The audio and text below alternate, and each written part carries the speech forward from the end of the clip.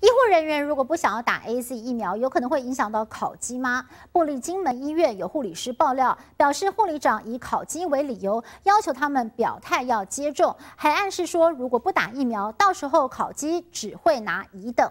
对此，金门医院上午特别澄清说，不会强迫同仁打疫苗，也跟考绩无关。卫福部也说没有这回事。而部长陈时中日前才大赞金门医院接金门医院的这个接种意愿呢，是全国最高的。达到了百分之百，立委也秀出了数据打脸，说第一天有意愿施打的医护明明只有八个人，和卫福部所说的两百多人实在是差很多。金门医院院长率先打下全金门第一针 A Z 疫苗，期盼起到带头作用，却还是有人怕怕的，但不想打，却传出可能会影响年度考核。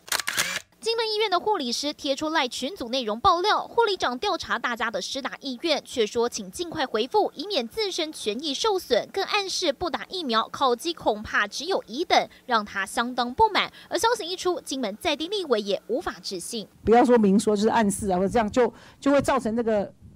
呃，下属人员心目中的这种恐惧或是担忧，一定不会影响考绩，啊，也会去加强这个沟通啦。否认院方施压强迫同仁打疫苗，金门医院也澄清，打不打 A Z 绝对和考绩无关，这跟考核是完全没有关系。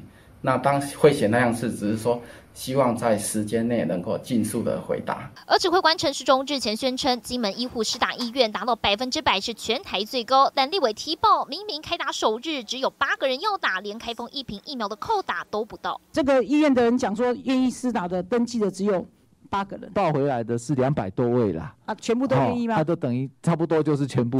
呃，卫生局跟医院这边是不是有误解这个调查的一个资料的？的一个情形啊，没有说是故意说谎。数据怎么来成了罗生门？而 A Z 疫苗副作用疑虑没消除前，想提高民众信心，除了长官带头打，还得再想想其他办法。吉台金门综合报道。